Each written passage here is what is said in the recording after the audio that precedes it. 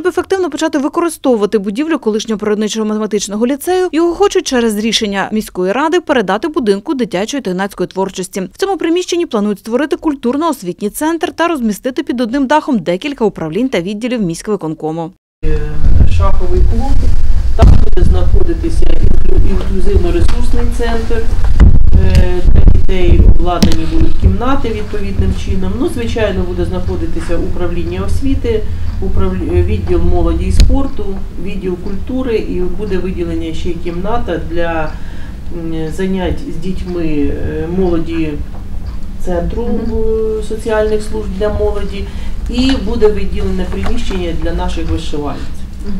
Буде велика кімната, яка знаходиться, яка має зараз на сьогоднішній день площу майже 108 квадратних метрів. Буде велика така актова реабілітаційна зала для засідань, для зустрічі з батьками, для різних прес-конференцій, і буде там виставкова зала.